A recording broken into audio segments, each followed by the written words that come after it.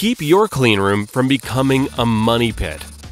How much does a cleanroom cost? A very popular question.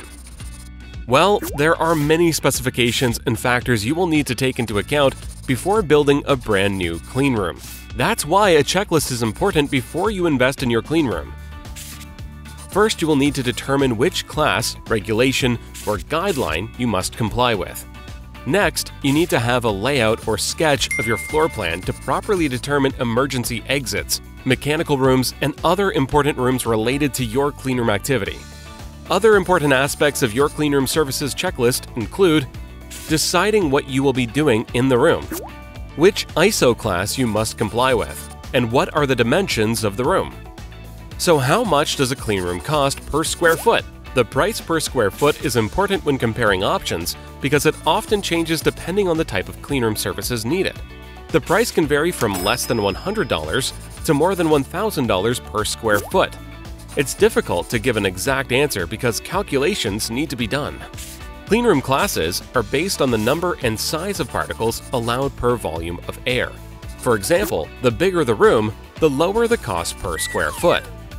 You may also be wondering, what is required for a certified cleanroom? According to good manufacturing practices, compliant cleanrooms require full flush design. However, you should consider these three most important aspects of a cleanroom. The first aspect is to know that the internal surfaces must all be smooth and impervious. GMP compliance requires that surfaces in a cleanroom do not create contamination upon themselves, which means no dust, peeling, or flaking of any kind that allows microorganisms to enter the atmosphere. Surfaces must also be easy to clean. The second aspect is the control and quality of the air throughout the room, making sure that airborne contaminants are being kept out. Clean rooms require controlled temperature and humidity. This helps mitigate the risk of contamination in the particles. Particles tend to float around and slowly settle, a good cleanroom should provide filtered air that circulates often enough to flush out the particles in the facility. The third aspect includes the way the cleanroom is operated and the staff that is working in the facility. Strictly controlling access of employees in and out of the cleanroom reduces the risk of airborne contaminants. Most protocols make sure that only trained personnel enter the room, limiting the number even trained employees can end up being the most significant cause of any contamination.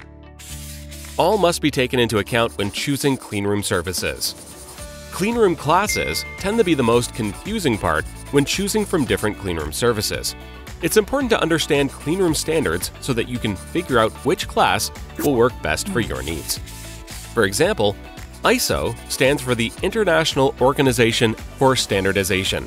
These are essentially formulas that describe the best way of doing something, commonly agreed upon by experts around the world. Specifically, ISO 14644-1 determines the best practices for air cleanliness regarding cleanroom services. How can you make your cleanroom services decision easy? As you can see, there is a lot to take into account when asking how much does a cleanroom cost. But the good news is, you don't have to do this alone. Sure Biochem is here to handle all your cleanroom services, whether it's testing, monitoring, or assistance in understanding government standards.